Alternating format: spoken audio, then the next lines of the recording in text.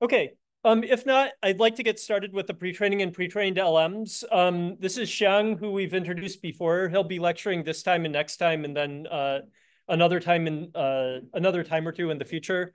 Um, he's an expert on uh, all kinds of things, but in particular, like uh, training and instruction tuning for um, kind of LMs for complex tasks like coding and math. Uh, so, or sorry, reasoning and math. So um, he's, you know, knows a lot about this topic and is a perfect person to teach this class. So um, please ask any questions have. Um, yeah, sure. Uh, hi, everyone. I'm super excited to teach this class. Uh, definitely I'm not as knowledgeable as Graham. Uh, this is this is true, but like I'll just try my best to teach like what I know uh, for this class. And it's also my great honor, you know, to teach the most brilliant students in this world. Um, and Okay, now let's get started. So this um, for this class, we're just gonna talk about the pre-trained and pre-trained language models. And um, um, so um, I'm again a brief introduction me. So I'm a postdoc working with Graham. Uh, and my office hour is on Wednesday, 1.30 to 2.30 p.m. And uh, my office uh, is at GHC 6416. So uh, if you have any questions, uh, no matter whether it's related to the class or it's related to just some general research ideas you want to uh, like explore or discuss with me, feel free just to come to my office to discuss. Um, and yeah, so uh, before talking about like the pre-training uh, and pre-trained large language models, I just may give you a brief recap of what we covered in the previous classes. Like firstly, we uh, in the previous classes, we mostly talk about the language modeling. We know that we just use a, a probabilistic models to kind of, you know, uh, you know, like just modify or just uh, to kind of estimate the, the probability of a sentence or document uh, using this function px. So x could be a sentence or document. Uh, and we can just use a, for example, we can use a generative model that calculates the probability of language right? And then we talk about like different kinds of language models, and one of them is autoregressive models.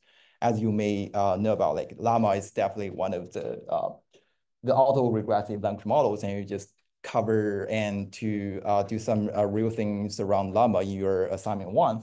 So basically, for the autoregressive language models, um, the objective is just like, okay, given the context uh, or the previous token, like we aim to predict the next token. So just model uh, the probability of given this context, the blue part, and predict the, the, the next token, model this kind of probability. Um, uh, and also, I just want to give you some uh, very detailed recap about the next token prediction. Um, so basically, the next token prediction is something like, it's still like a classification problem, right? So basically, we can think of like the language models or neural language model as kind of some classifiers. And we basically just classify the prefix of text into V classes, and V is just the vocabulary. Um, and when we just predict the next token, we just kind of, you know, select the the um, the most likely token from the, the, the V words or from the V tokens. V is our vocabulary. Um, and to be more specific, for example, um, given a sentence, say, I saw a cat on a so basically, we just feed this kind of prefix into a, uh, neural networks, which is usually a transformer. And we can get the representation of this prefix or the history. Uh, and then we can have some linear layers. Basically, we just project this kind of embeddings into V, uh, like V tokens, and then we do the softmax and uh, something to like that. And basically, we just modify, okay, given this, I saw a cat on them, and then what is the next word's uh, probability? And basically, we can just train our model to kind of predict the next token uh, in this fashion. Um, okay, so that's basically the recap of the previous classes. Um, and basically in this class, we will cover, mainly cover, talk about like the language model, large language models pre-training, um, where we will first talk about like pre-training data, and then we talk about the some uh, important training setups, um, you know, especially like talk about some important hyperparameter setup, talk about like how can we do the parallelism to enable the large scale training and so on and so forth. And then we'll just talk about like the open source or the, the, the open source large language models versus closed source large language models. And we just also talk about some representative uh, large language models in this class. Uh, again, this class may we may have a lot of like thing to cover in this class, so it, I'll just maybe for something I, I won't have time to talk about the detail. But if you have any questions, uh, you can either like just interrupt me and I could try my best to to answer the question uh, if time permits, or I, I can just you, you can just come to my office and I'll just answer your question offline.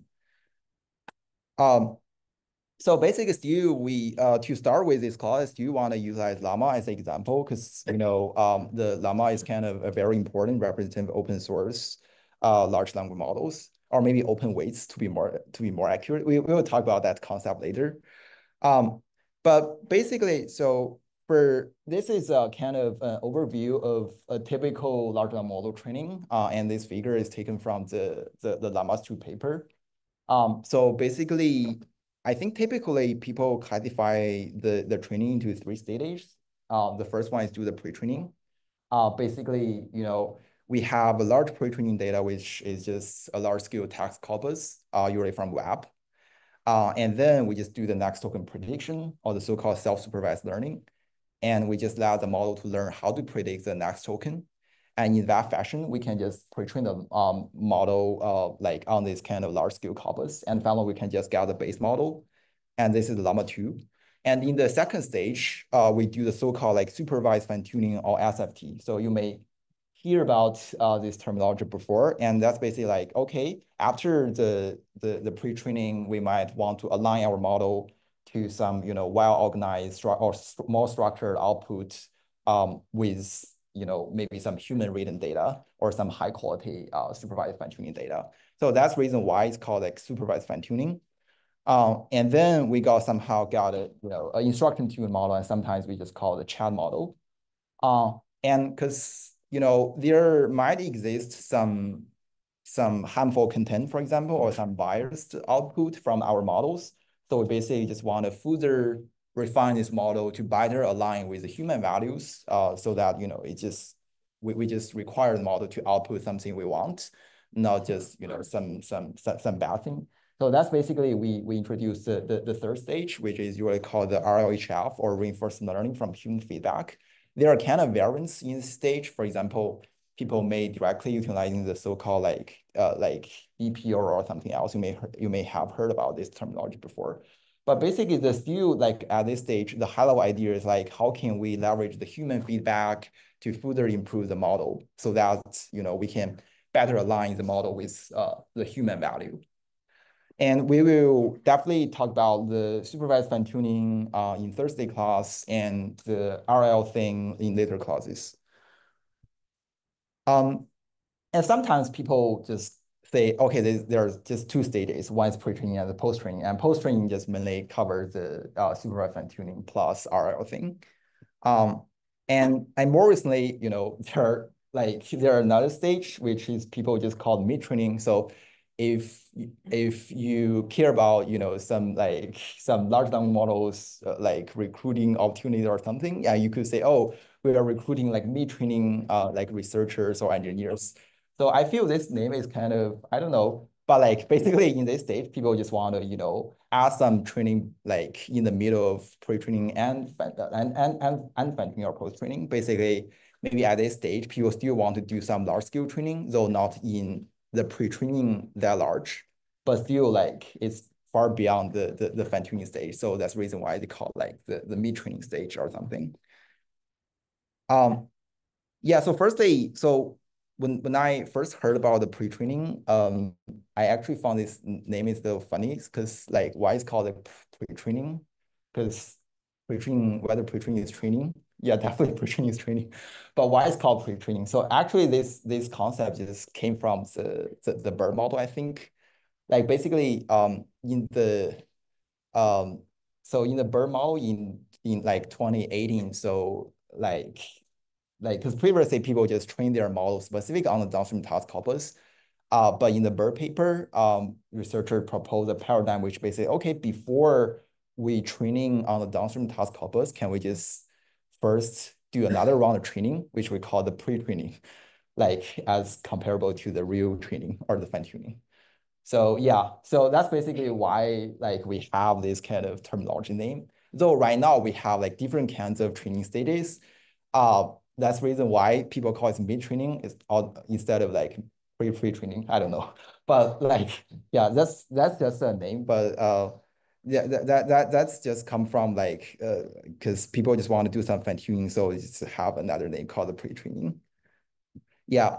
So then I just talked about like the some pre-training data sets. So as we briefly um, mentioned just now, like basically in the pre-training stage, the model um, is trained to predict the next tokens. So uh, as you may know, so in this stage, we need a very large corpus, which usually, you know, some unlabeled text corpus. And people usually get this kind of large scale corpus from the web. So uh, Common Crawl is definitely one of the most important sources we can use. And but besides Common Crawl, there are also some other sources available from the web we can use. For example, like later on we'll introduce like how to you know train a code generation model, and definitely we'll use a lot of code data from GitHub.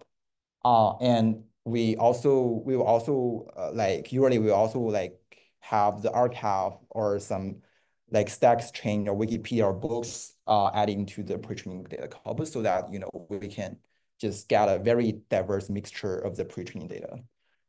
Um, and here's an example of Llama 1 pre-training data mixture. Um, basically, they have 1.4 trillion tokens in total, and they just cover um, the, the, the, the data sets or the data resources, uh, data sources, as just mentioned. Um, and this table also give you some overview of like how large is really a pre-training corpus. And basically, if you can check out the disk, uh, disk size, I will also cover in the next slide. And basically just will take you like four to five uh, terabytes to store these trillion tokens. And you may also uh, saw like in the um, like third columns for the epochs, basically for some corpus, for example, for the Wikipedia and the books, we train them with multiple epochs instead of one. That's probably because like for those kind of data, uh, data sources, they're higher quality um, than, than those on the web. So that's basically we just want to repeat it for multiple times. Um, so yeah, so even though we know, okay, we have trillions tokens for the pre-training, but still I just want to give you like some statistic of about like how large are like 1 trillion tokens. So for the physical size, so say if we want to print out these uh, like 1 trillion tokens on, on the papers, basically like a typical page contains about like 300 to 500 words. And, you know, uh, assume we have like 1 trillion tokens. So that basically means we roughly have like um, 750 billion words. And if we have like an average of like 400 words per page, that's about 1 point 875 billion pages. So that's basically if you want to print out all of these text uh, on the page, that's will will have like around like 2 billion pages.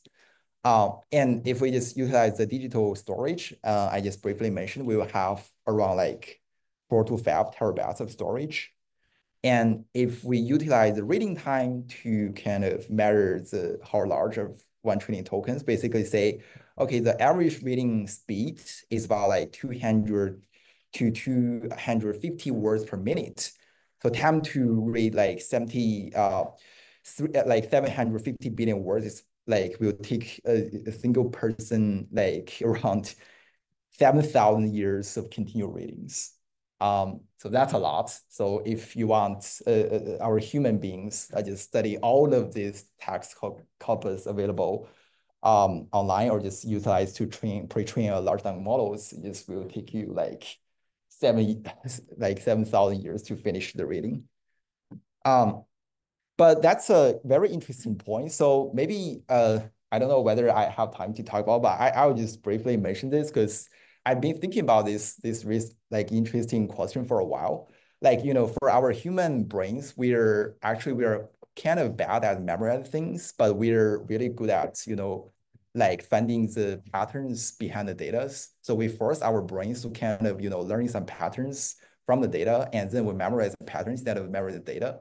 But for the model, it seems that they are very good at memorizing the real training instances, but not but are kind of bad at generalizing uh, to you know some un unseen things. But yeah, just anyway, uh, maybe we don't have time to cover uh, this kind of thing. But if you're interested, feel free to ping me.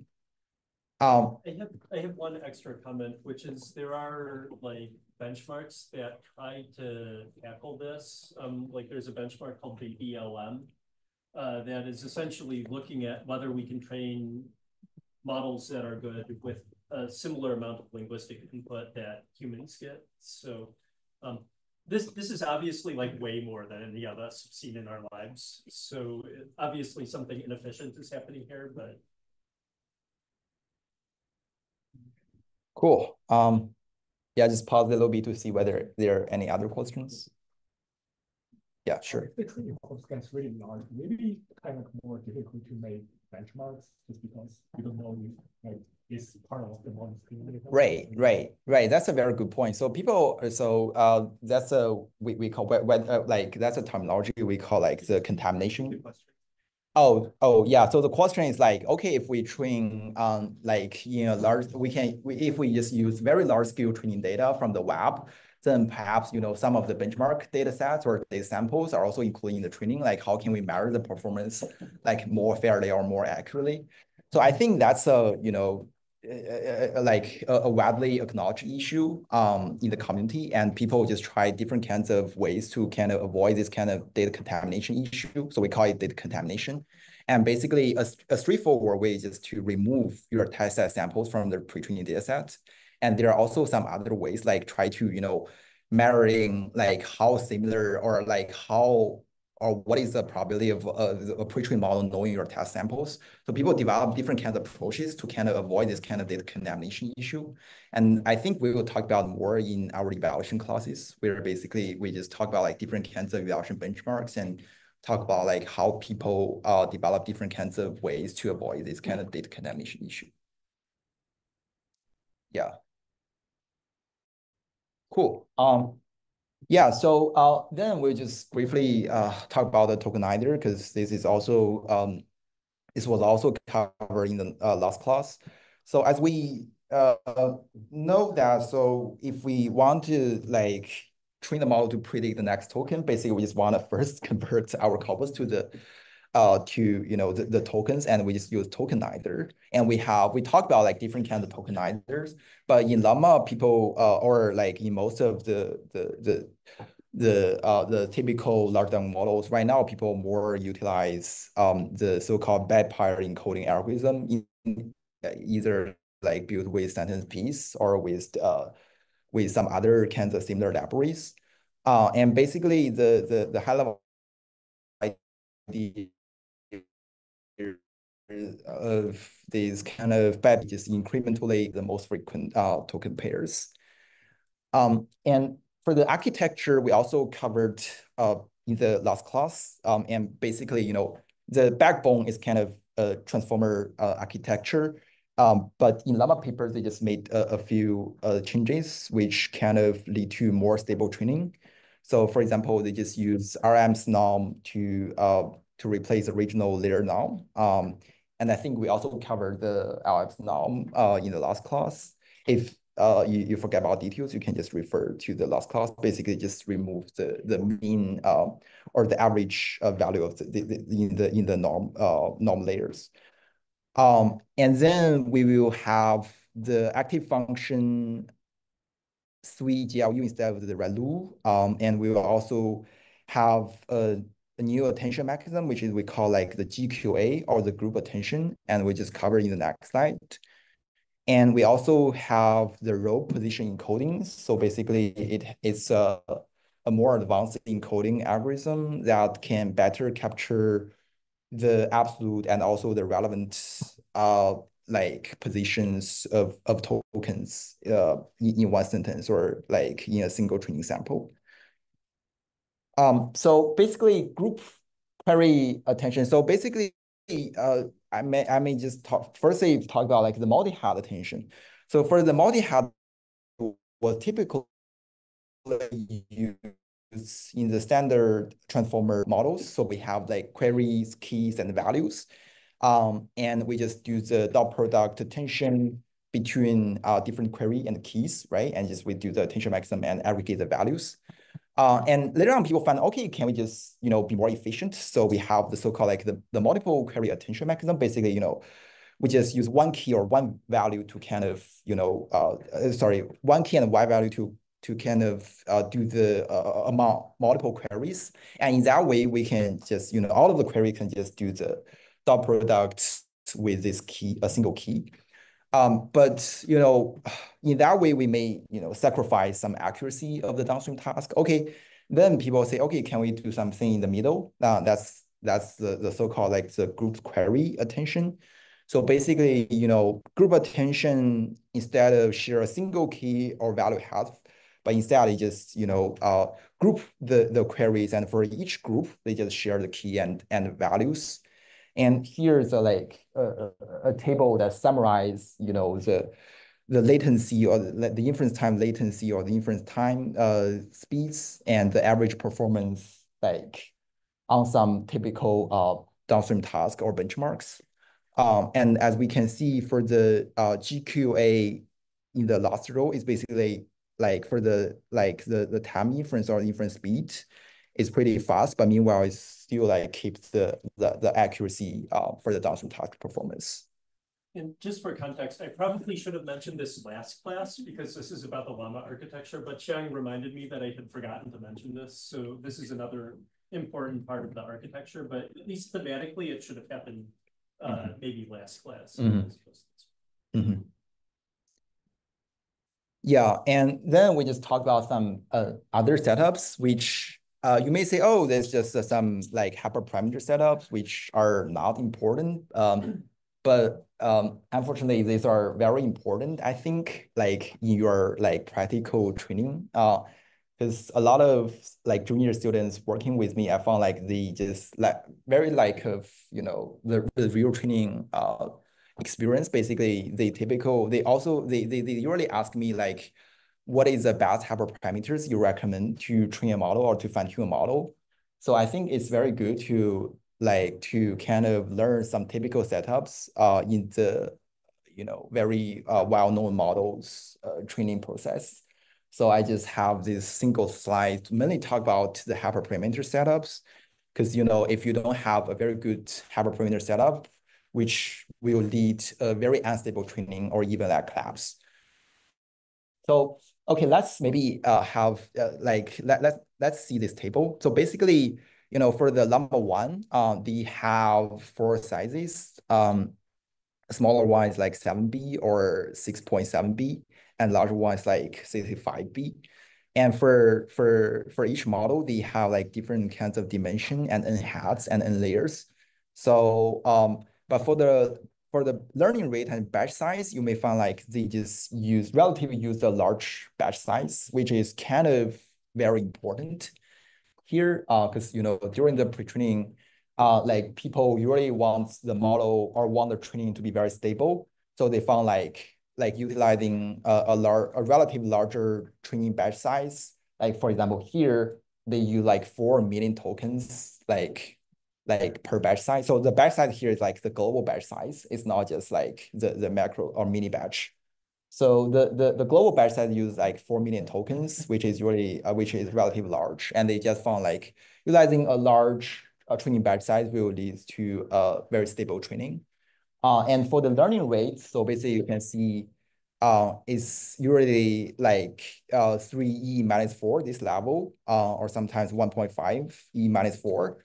Uh, and when you do the fine tuning, maybe like you just like utilizing a much smaller one, maybe just use like uh 1e minus 5 or something like that. But during the pre-training, it's minus 4, this, this, this kind of level.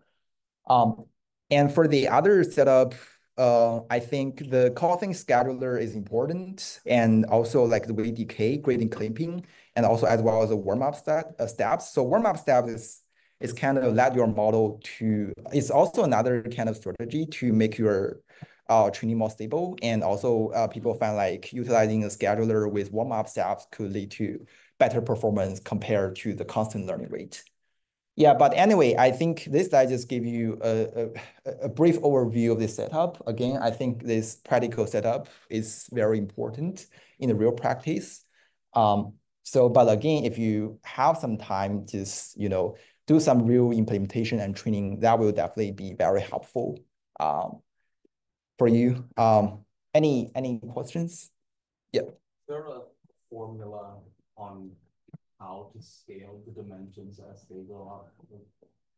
Like, like, like it's the 6.7 billion private model has a dimension 4,096. Uh-huh. The largest one has 2,001. Then is there like a formula? Yeah.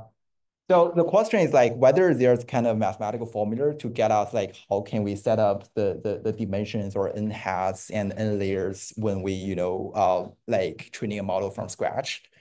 Um, I mean like the, this kind of uh, setup is usually uh, combined with your hardware. So for example, why people want like kind of those like 7B or maybe 32B, this kind of thing is basically like, okay, it's just related to like how large a NVIDIA GPU's memory size. So they basically want, okay, maybe for example, for the for the 30, 32B or the 34B, why people just want to use this size is this reason because it's like um, we can just fit this model uh, into a single uh, like 4090 GPU, uh, NVIDIA GPU. So that's probably reason why people just design this size. And I definitely think people have some formulas to calculate this or like in general. Uh, but uh, I actually don't find it. Maybe maybe there are some formulas, but I, I could I could look them up offline. My my impression is that it's largely like they kind of linearly scale all of them. You can see how they're they're kind of linear, except maybe the layers are bigger than the heads. Um, my guess is this is kind of heuristic. Mm. It's like they had a target mm. target size of model, target size that could fit on GPUs and stuff like that, and they just followed that. Um, there's a really interesting paper called The Case for Co-Designing Model Architectures with Hardware um, that is related to what uh, what uh, Xiang mentioned. And it, it, talks about how like CUDA, uh, sorry, uh, NVIDIA accelerators like particular sizes of models. Um, it, so if you're really interested in that, you can take a look at it. But I think it's kind of heuristic and mm -hmm. like most other things, you'll want to follow previous precedent before mm -hmm. you start doing anything fancy. Mm -hmm. Sure. Elaborate on the, given the warm-up steps. Sorry, I don't hear your question. Can you elaborate on the uh, warm-up steps? Oh, what what is what what is warm-up steps? So yeah. basically, like so so the question is like, uh, like what is the warm-up step? So basically the warm-up step is like, okay, say our like learning rate is set to uh, three minus four. We're basically like not just start with this kind of learning rate, but instead we kind of like let the learning rate uh, linearly climbs to the to the maximum learning rate, and then we sort of like the learning rate to decrease to the uh, to, to, to the final learning rate. And here the final learning rate is like 10% of the maximum learning rate. So you will say if you plot your learning rate, uh, you will have like something like this. So.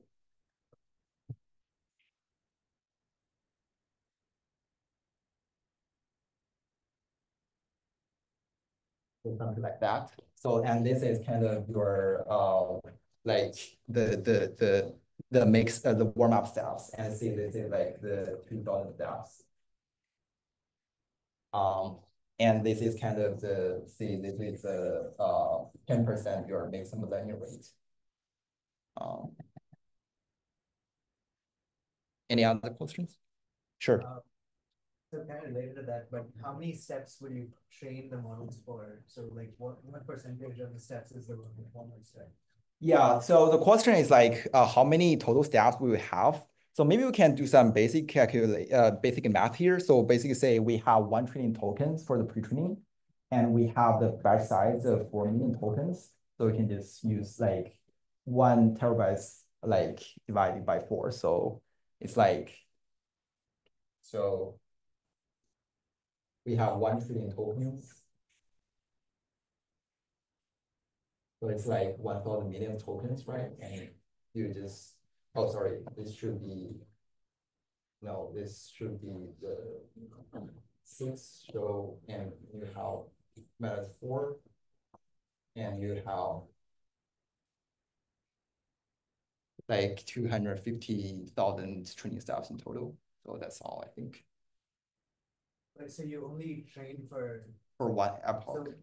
Okay, you only train for one epoch. Okay. Mhm.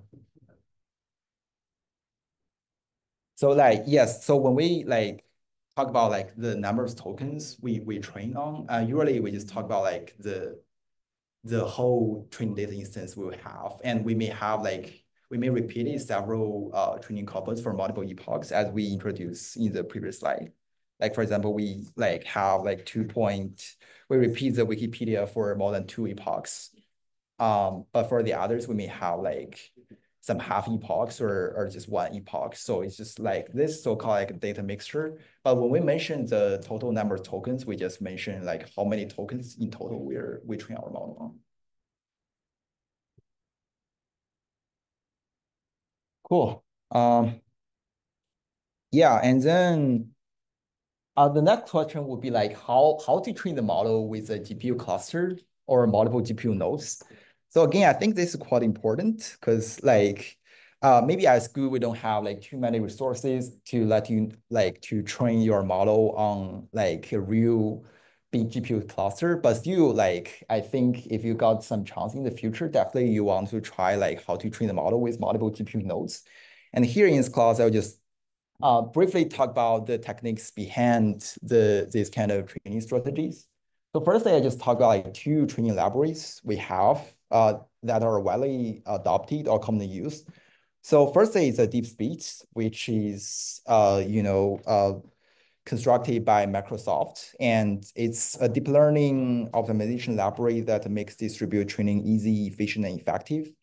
And um, people, if you just use transformer libraries or I mean Hugging Face transformer libraries, you you may find that the DeepSpeed has already been integrated into the library. So like you can just pass the some hyperparameter setup. For example, uh, you may see some uh, setup like zero stage, like zero one, zero two, zero three, and then you have those kind of config and you just launch distribute training. So that's basically like uh, how we usually use, like if we use the Hugging Face library. Um, but on the other hand, there's a, a, another one which is called Megatron. Uh, I think Megatron is a, a more like powerful like pre-training uh, library we can use. Like basically, like mostly uh, most of the, the the open source models training libraries are constructed based on the Megatron LM and it's it will be more efficient and more stable than the DeepSpeed uh, when combined with Hugging Face. I think that's probably the reason why you know when training uh very large scales uh models, people usually tend to use Megatron LM. Uh, but again, uh, these two libraries are are, are pretty uh, are widely used. Uh, you could just try some uh, DeepSpeed example with Hugging Face library, I think.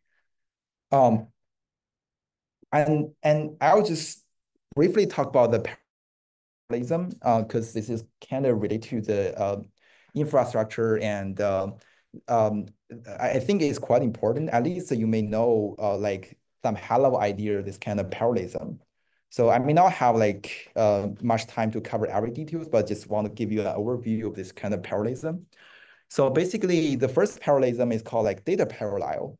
So basically that's very straightforward, right? So if you have a very large training corpus, you can just divide, say you have like eight GPUs, you can just like divide your training data uh, by eight, right? And then you just have a, a shard, uh, like eight shard of your training corpus, and then you can just train train them on each device, and then you just synchronize at the end of each training step.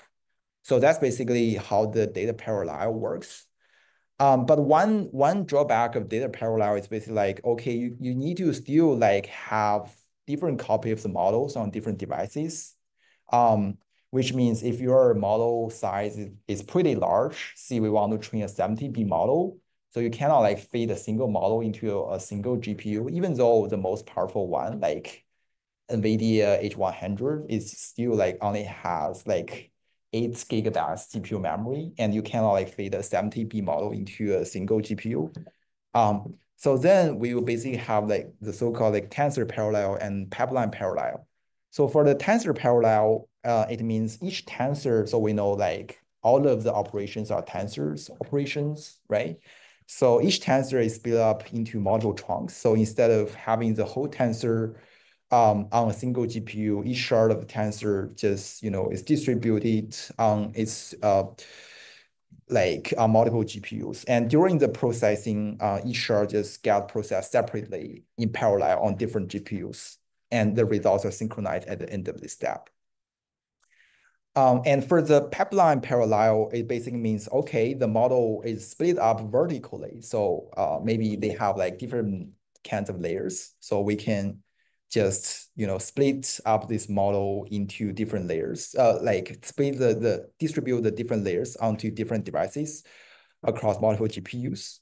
Um, that means only one or several layers of the model are placed on a single GPU, and each GPU just process you know, in parallel, uh, different stages of pipeline. So for example, maybe on some layers, uh, you are just at the end of the, the your, your, your, your, your model layers. And um, maybe for, for on those kind of devices, the model just do maybe just do the, say, the, the, the final uh, next token prediction. But on some layers, just on, you just maybe some embedding layers at the beginning, and you just, you know, process the next batch of data for, for that. So that's basically how the pipeline parallel works. And finally, um, like like I just mentioned, um, like the like the DeepSpeed library just use the so-called like the zero redundancy optimizer or zero. And there's typical uh, three stages uh, of the, the zero, zero one, zero two, and zero three. So you may also uh, like have things um like in the transformer libraries or the DeepSpeed library. And it just it, it will also have some other uh, kinds of setups like offline your hyperparameters or something, or op like all uh, like offline your your your training states or, or optimizer, those kind of thing. So what does it mean? So basically, the the zero strategy also can you know combine these different kinds of parallelism and for example, it's, it's performed sharding the tensor somewhat similar to, to the tensor parallelism, but it's, it's more advanced in a more advanced way. And, and for the different kind of zero stages, for example, for the zero one, it basically mean, okay, can we just, you know, uh, like divide the, the, the states, the training states across uh, different devices. And for the zero two, it basically means, okay, can we further divide the gradients. And for the zero three, it just means, okay, we divide everything, including the model layers, uh, like the training states as well as the gradients. Yeah, so uh, I mean, I'll have time to cover the, the details, but just give you uh, a brief overview of this kind of parallelism. Um, and then it's we we will just say, okay, then we have this kind of training library, and we also know like how how can we train the model with this kind of parallelism. And this is a loss curve um, of Llama 1 model. Um, so as we can see from this training loss, so again, so all of, so uh, even though the, the, the Llama uh, like 33B and 65B may slightly have a different training corpus, because here they said like they were trained on 1.4 trillion tokens, but the smaller models were trained on 1.0 trillion tokens.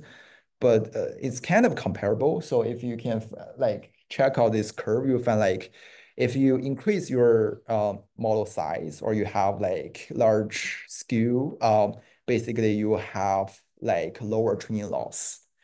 Um, and another interesting I want to mention for this graph is basically like you may find um, some weird training loss curve. For example, there's kind of a stack uh, on some certain training step, and we usually call this kind of the loss back or training loss back. Um, the, the training loss back was caused, maybe caused by, you know, different kinds of uh, reasons. For example, maybe at that point, there are some like bad data points, or maybe, you know, there are some related to your like, like norm, maybe there are norms or some other like norm strategies and it could also be you know related to your like initialism uh initialization of the hyper uh, of the parameters Um, and people develop different kinds of heuristic ways to kind of deal with this loss back. But during, if you find your loss back during some fine tuning, so fine tuning also will, sometimes we'll also see the loss back. Um, if you find, if you observe loss back in your training um, experience, you may, if it just like go to normal late, lately, maybe you don't need to care about them in general, uh, generally. But sometimes if it does not like go back to normally, but instead, you know, the model just collapse, maybe uh, a potential, uh, some heuristic ways to fix it is just, you know, to roll back to your uh, previous checkpoint and adjust your learning rate a bit, or just skip that uh, certain steps so that you just have a more stable training. But definitely, if you are interested, there are some theoretical analysis work around this, and people find, you know, uh, have some deeper analysis on this. The second thing you said bad points and validation. What's the second one? Like the the initialization of your embedding vectors. Yeah, that's the third one. Second. Uh, what's the third one? Uh, oh yeah, gradient norms. Yeah yeah, something related to the grid norms. So just your your your your your clip, uh, your your gradient clips hyperparameters will kind of resolve the issue to some extent. In some cases. I don't think I've actually covered gradient clipping yet, which is a kind of an important detail. Uh huh. You, you didn't mention that, did you? Oh, I don't. I thought you yeah. covered that. So so grade yeah gradient clipping is um when you have your gradients um, if they're too big, they can result in instability. So what you do is you divide by the minimum um, of the norm, or is, if the norm is greater than one, you divide by the norm, basically. Um, and what that allows you to do is it allows you to reduce the norm of the gradient to be no greater than one. So it, it maintains stability in your training. Um, and so if you, like in the hyperparameters, that was listed as one hyperparameter yeah, here, so there's gradient clipping, uh, which is set to be 1.0. There's a lot of things to know about these things. I tried to mention all of them, but like, uh, there's a lot of stuff that goes on here. So that was uh, another one that I think. Yeah yeah, again, like if you have some opportunity, just try your own uh, instead of you know, just reading the, this kind of papers or listen to my lecture. You can, if if you have some real training experience, you definitely like have a better understanding about like what what do these hyperparameters mean in the real setup. Uh, but anyway, um, yeah. So then I'll just briefly talk about the scaling laws. So you may have heard about this term, uh, like have been mentioned multiple times in, in, in everywhere. Like basically, if we have developed some math formulas, we can just directly predict, like if we scale up the model size, we can just directly predict the, the test loss or the training loss. So that's basically how people usually talk about it. And I think modern LLMs are at least for now, like most of them are built on the scaling laws. So basically people just do a bunch of experiments on smaller uh, size of models, and then they just use this kind of scaling laws to predict how larger models will behave. This is quite important because like, you know, even for those kind of big tech or like uh, if they have very like high resources or many GPUs, they still don't want to, you know, waste this kind of thing. Maybe for training larger models, you just want to do it once or twice. So that means um, it's quite important that we can just predict what is the performance of this larger model uh, using the smaller model's performance. So that's basically why OpenAI people, or maybe also as well as uh, Google people, develop this kind of scaling laws. So basically in the high level scaling laws say, okay, if we scale up our compute, uh, which can be measured by some metrics, which usually like the T-flops, or here is a PF days. Um, that basically means, okay, like how many like uh, flow operations we have in total. Uh, and another factor is the data set size, like we mentioned in the previous slides, right? For the Llama model, Llama 1 model, um, it adopted like 1.4 trillion tokens. And definitely, you know, for like later models training, they have, for example, for the Llama 3, they have like 15 trillion tokens. Uh, so data size is definitely one of the most important factors. And another factor is the parameter size. Um, uh, like we also covered that, right? We have the 7B model. We also have like 70B model. So that's basically what we mean by parameter size. And the question here is like, given constrained compute budget, measuring uh, flops or T-flops, what would be the optimal combination of model size, training data size that used to the lowest training losses? Um, and people just, you know, do this kind of uh, experiments and try to fit a curve uh, utilizing a smaller model's performance to kind of predict the, the performance or the training loss of the of larger models. Uh, and there are some math formula here, and you may see, okay, there are, are different, uh, like a bunch of notations here, but in the high we just say, okay, this kind of scaling laws are just re relate to like the three factors, N, D, and C. So N is like the, the, the, the data size, the, the, the, the data size size, um, and, uh, sorry, D, N is uh, the number of parameters, and uh, D is a, uh, like the the size of the, or your your your, training data size, and C is your your your flops or your your model compete, and basically they just kind of like do the like the the the the model training on smaller models and utilizing these models to kind of feed a curve, and then then they get this constancy, and then they can have this kind of uh formula, and then they can utilize this formula to predict, okay, what if we train a very large scale model? What is the predict uh, training losses. So that's basically uh, what we mean by scaling laws. Um, uh, I may cover, I may explain a little bit about these two curves. For example, uh, in the left figures, uh, like it's like it's called loss or loss versus model and data size size. So the x-axis is the tokens in the data size uh, in the data site, and we have like different lines which represent different hyperparameters or different size of models, you know, ranging from the um, 393.2 thousand to, you know, 708 um, parameters.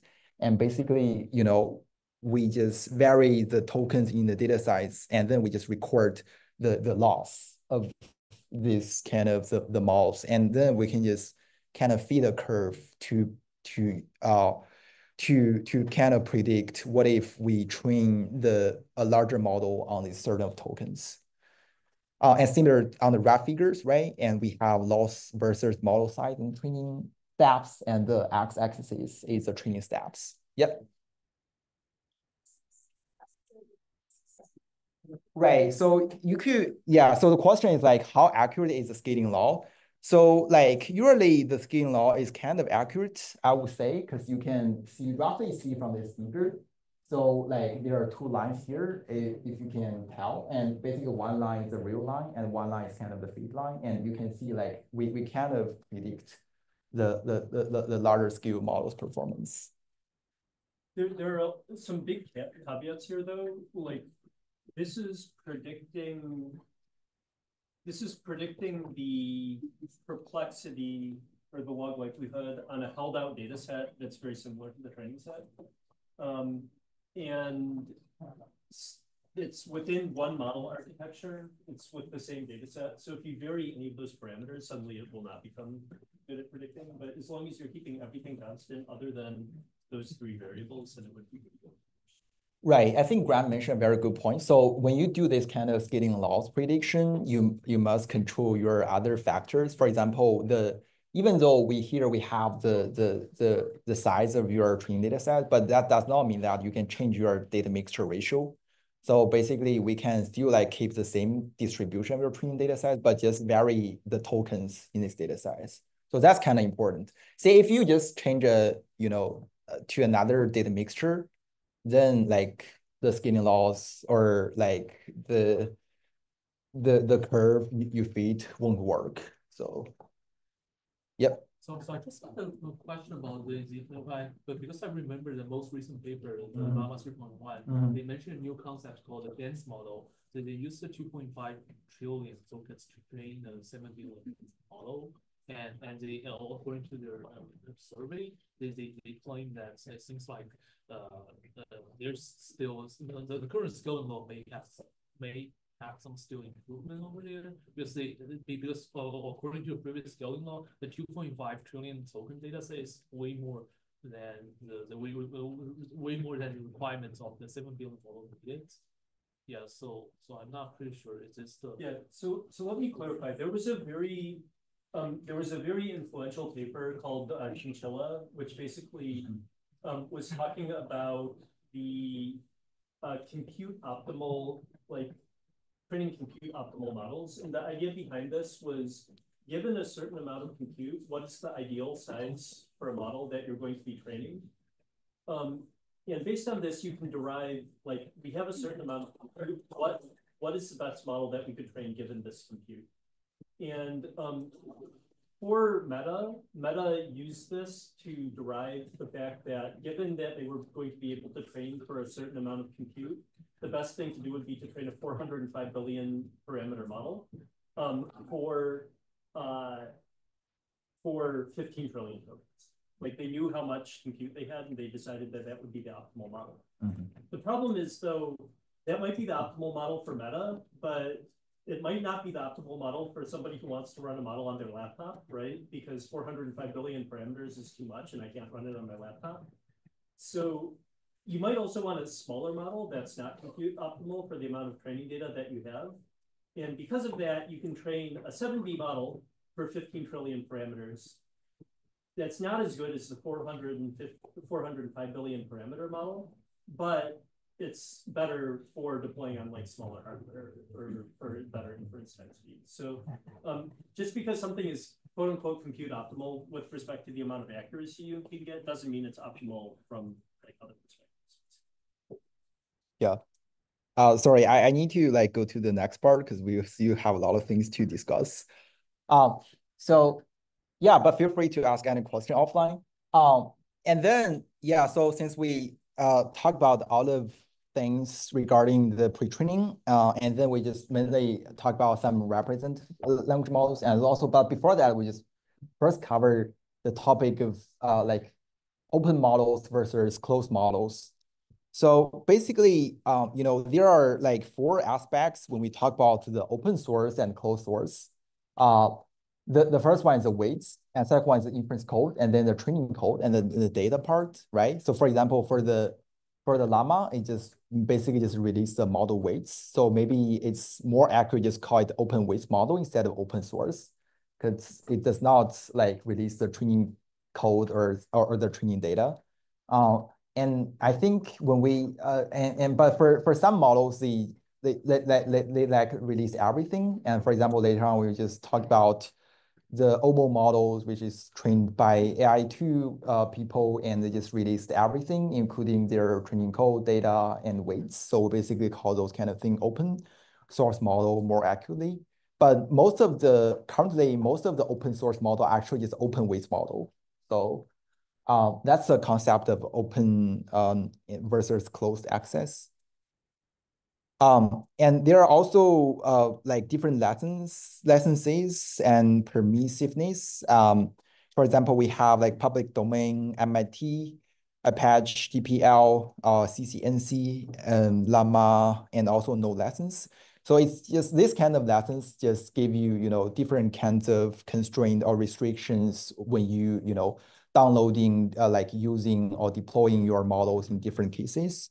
And mo in for most of the academia uses, we, we usually use the MIT lesson or Apache lesson because it's relatively loose and if we want to release something, but it also depends on like other situations. Um, and, and Llama has its own lessons and which kind of has some restriction. For example, for the Llama 3, it just has like a, a, a line saying that you when you fine tune your model based on the Llama 3 base model, you have to add Llama 3 before your models, uh, your model name. So that's something. Oops. yeah. Um, yeah, sure. Um, so yeah, so that's basically the the the, the different licenses and permissiveness. Um, and another thing is about the fair use. So fair use is basically say, okay, uh, like, uh, like when you utilizing some cooperative material, if you are using it under some circumstances or some situations, it might be okay. So for example, if you're just like utilizing a small portion of the original material or data, it might be okay if just utilizing for the educational purpose or research purpose. Um, and uh, some other cases like, uh, for example, if the, the use cases uh, do not diminish com com commercial value, um, it might be possible, okay. And um, and but you know most of the data on the internet right now is kind of copyrighted, so model training is currently done assuming fair use. So this this kind of a, a gray area. So we on the one hand, people say, okay, maybe we can directly utilizing the web data, but on the other hand, some people say no. So there are still like a lot of copyright stuff associated with the data. So for example, like like recently we saw like different lawsuits. For example, one of the most famous one is the New York Times just sued the OpenAI and Microsoft um, for using their like copyright data for training the models. Um, yeah, so I mean, like th this is kind of important if you do a very large scale training. Um, but within the academia use or research purpose, it's really fine. But again, when you utilizing some training data, you might need to check out what lessons uh they're using, and you must you you might want to obey their their rules. Um, so um, then we we want to ask, so why like people want to restrict the model access instead of directly, you know, releasing all of the things to the public. Uh, I mean, the first one is just a commercial concern, right? Because they just train the model, they just want to make mon monies from the model. They just want to, they just don't want to just donate the model to the public, but instead they just want to make some commercial values. So that's most, that's probably the the the the the most likely reason they don't want to release like their training data and the code and even the, the, the models themselves. And the second reason is the safety, right? Because like we know there are a lot of safety issues of current language models, and people just develop, you know, a lot of maybe uh, like, for example, the jailbreaks, those kind of thing to try to, you know, elicit some harmful uh, output from the model. So there are a bunch of safety issues with the models.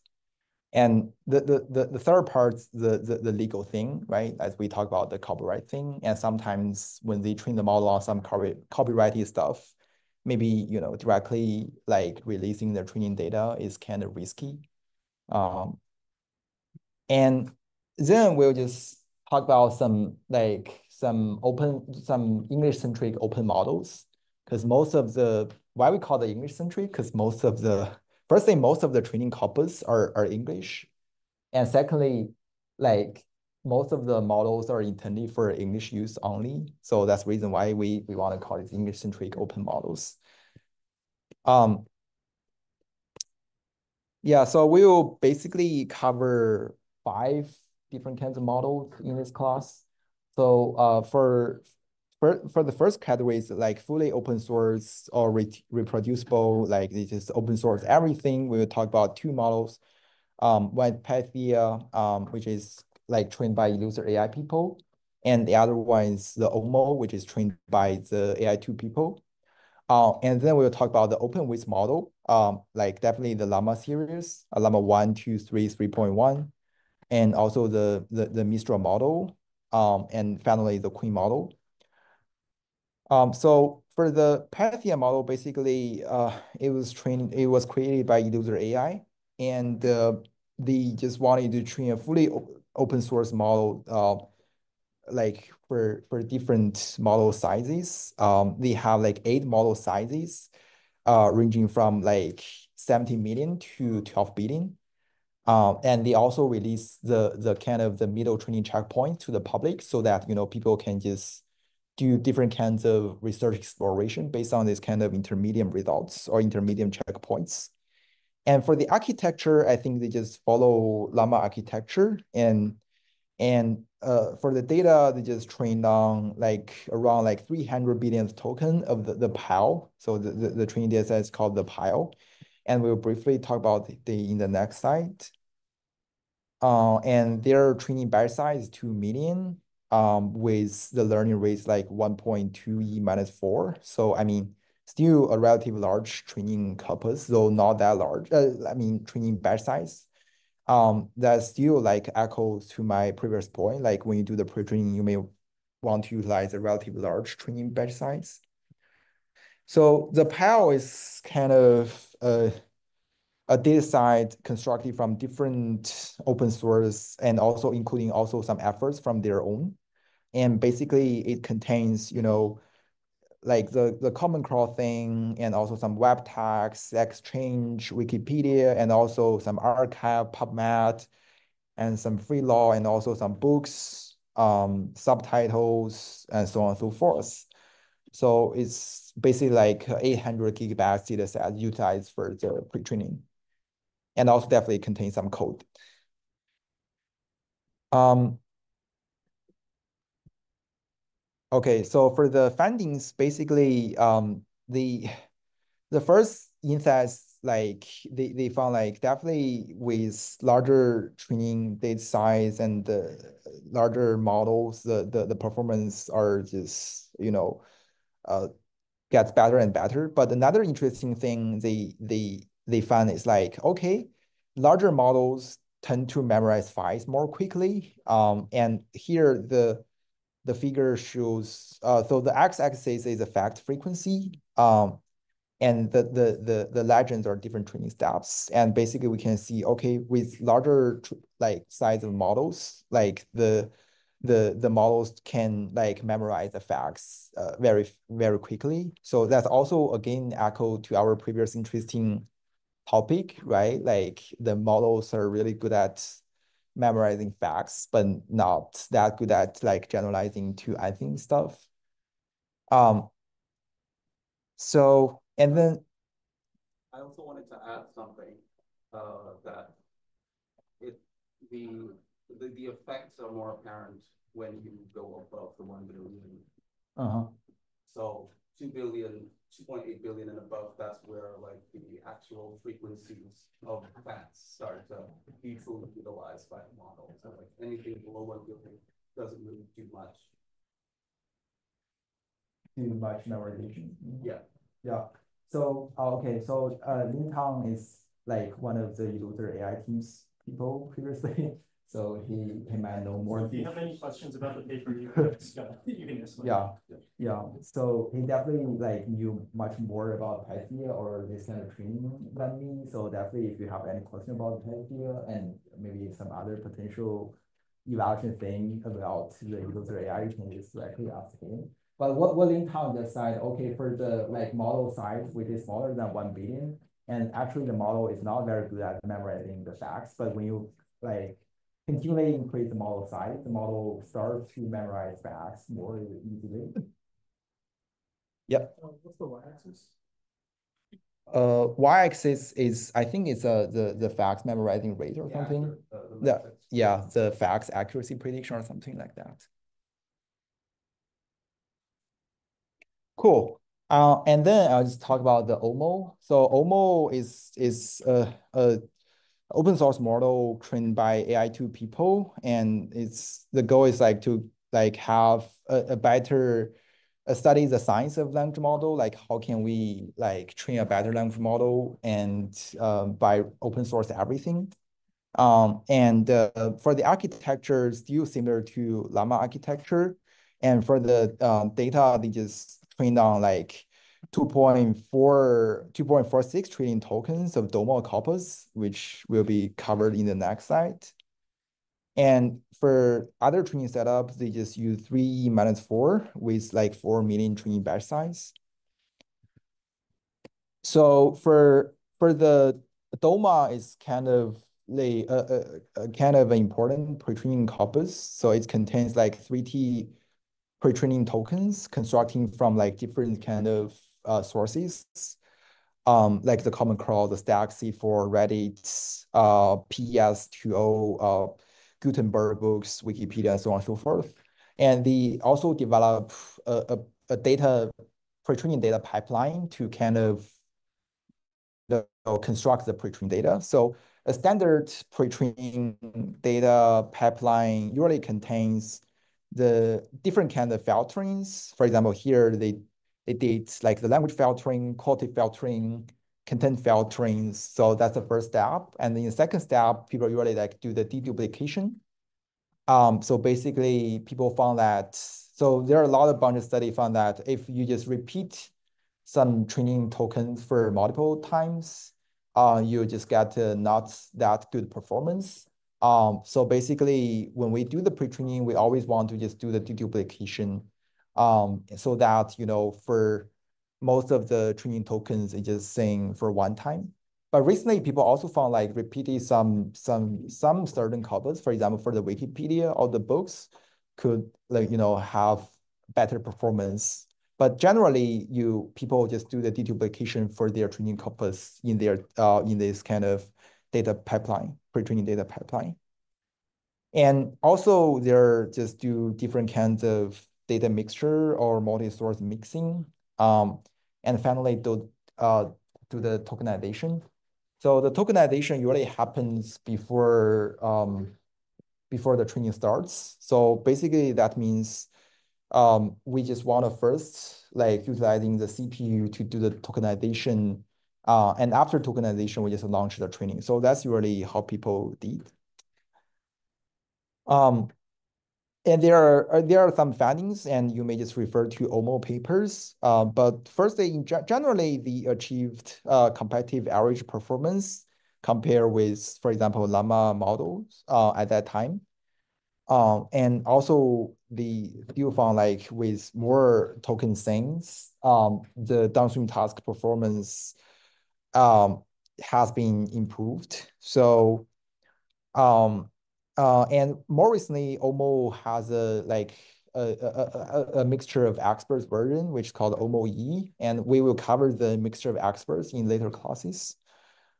Um, and then we we previously talked about Llama Llama one, and here just want to talk about Llama two and Llama uh, Llama three. Um, and for the architecture, Llama two um, was near the same as number one, and but instead for the training data, it has more tokens. So it has up to um, two training tokens, and for the training, the training setup is kind of the same as the previous.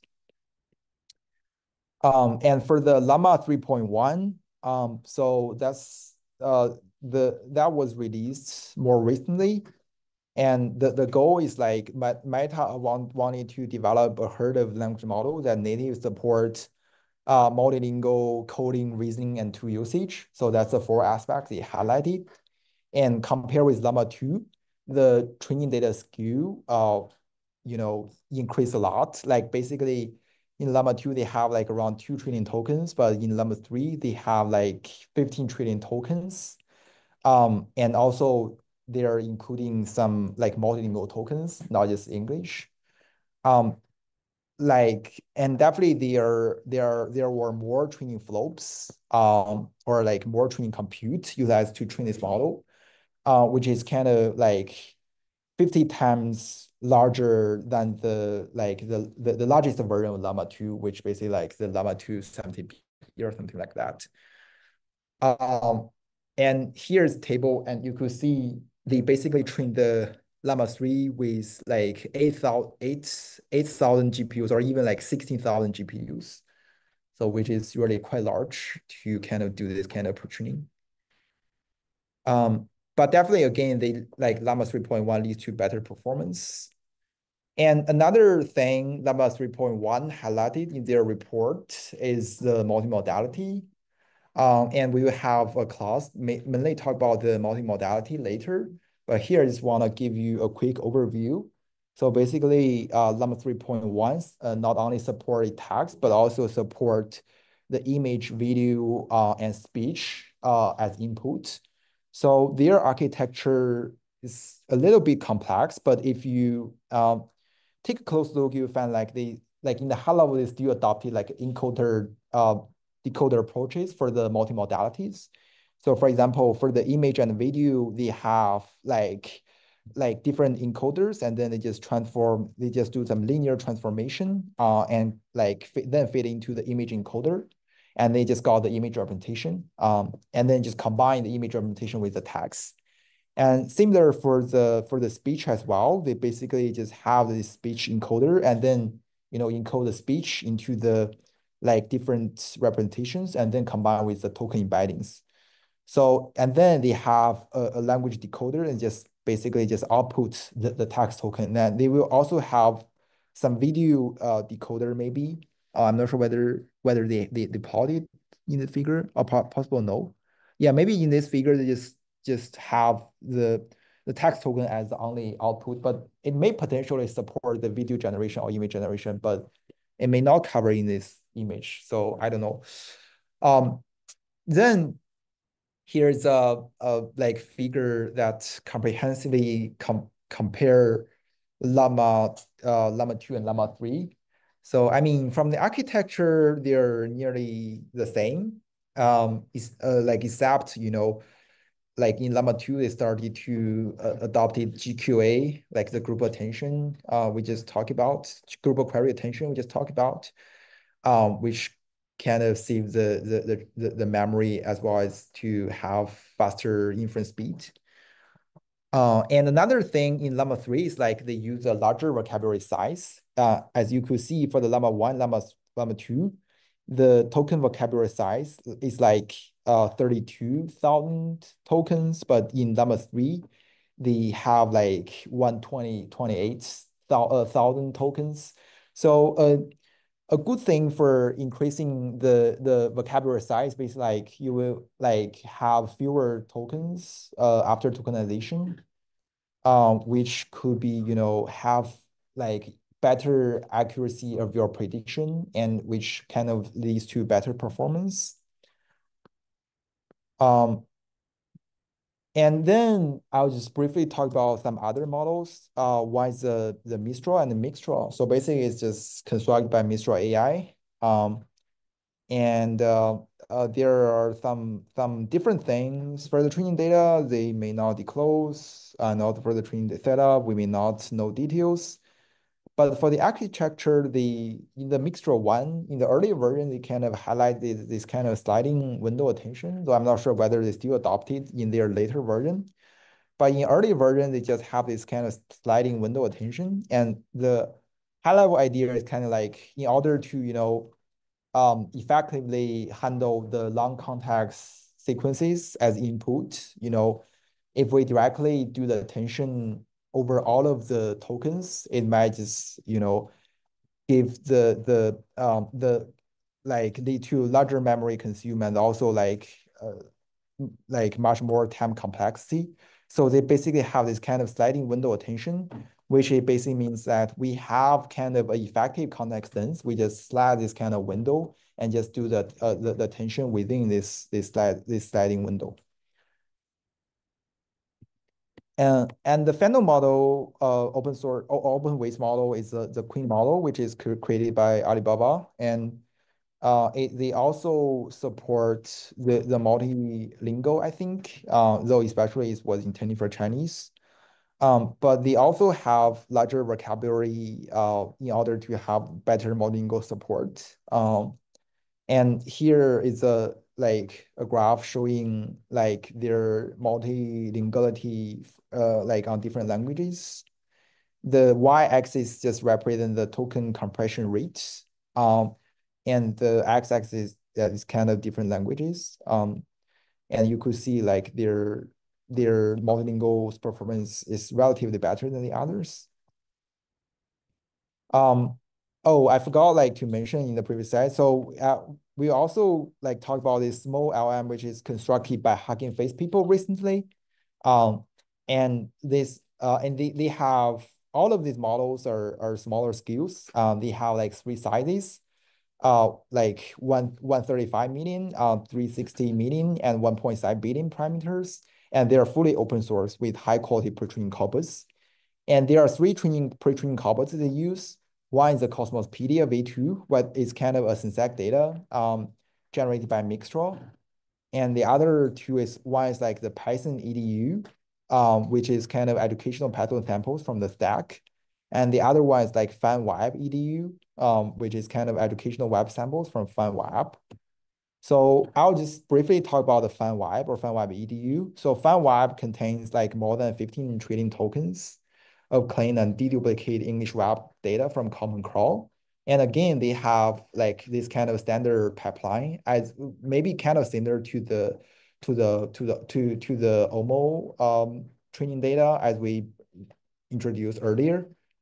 Um, and they actually found like after like like adopting this kind of filtering uh, methods, they will just lead to a, a, a much more clean training corpus, which kind of leads to better pre-training um, performance. And they also have a subset which called FineWeb EDU. So basically just utilizing, just develop an educational quality classifier using annotations generated by Llama3 70B instruct.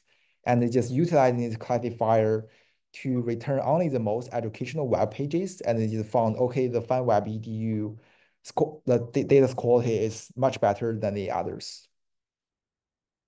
Yeah, there are definitely some other code models uh, from Starcoder to CodeLlama, DeepSeek Coder, and all on more recently, um, there's a coder called Yi-Coder, which is developed by Zero One AI. It's kind of a smaller scale, but strong performance. Um, and we'll just cover more in the code generation class. And for the math model, we have Llemma models, which is kind of constructed by um, AI uh, and other people. And, and also we have DeepSeek Math, which is kind of uh, like pre-trained by DeepSeek. Uh, and we will also cover more in the code and math class again.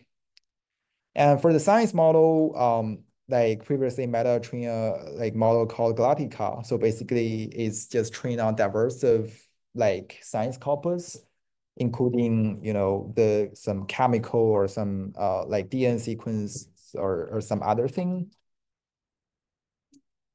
I, I think maybe we can skip the post models. Yeah, yeah. Uh, yeah, thank, thanks, everyone. Um, and, uh, we can take any questions up front. Uh, yeah, but.